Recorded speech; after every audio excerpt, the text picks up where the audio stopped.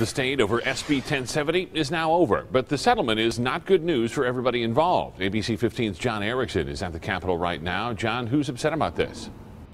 Well, one of the men who sued says this isn't good enough.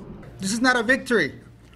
Our community, the ones that I represent, I warn them don't let your guard down.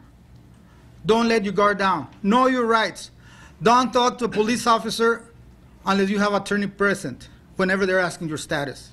What he says he'd like to see instead of today's settlement is a time when police don't look into a suspect's immigration status. But what the settlement today does do is end questions about the so-called papers please part of the law. If police pull someone over for speeding or arrest them on suspicion of some other crime, and if the suspect can't show an ID, police can start investigating their immigration status. The federal government has a 24-7 hotline set up for just that purpose. But what today's settlement makes clear is that if someone's ticket is already written or they're bonded out of jail, police cannot continue to hold them for the sole purpose of determining their immigration status. What does the Attorney General have to say about it? We'll hear from him coming up at 6. Back to you.